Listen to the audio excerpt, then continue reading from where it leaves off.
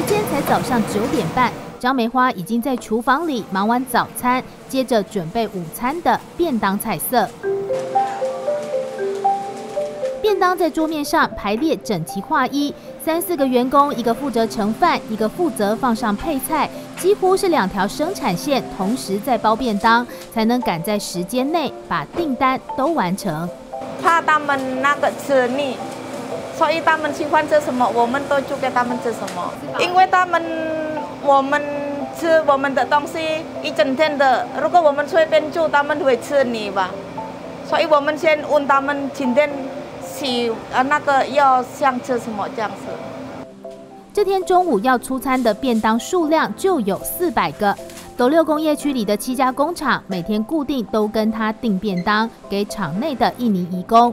会这么贴心，是因为二十多年前张梅花也是来台湾工作的移工，深深了解不同饮食文化的差异。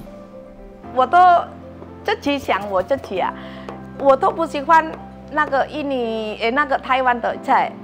然后啊，我不喜欢啊，他们一定也不喜欢嘛。然后所所以，我都慢慢那个做东西，可不可以买给他们？